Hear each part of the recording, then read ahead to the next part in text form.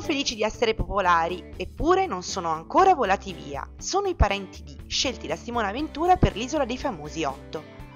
Partono il giorno dopo i VIP, eppure loro arrivano a Linate all'alba, quando ancora non è sorto il sole.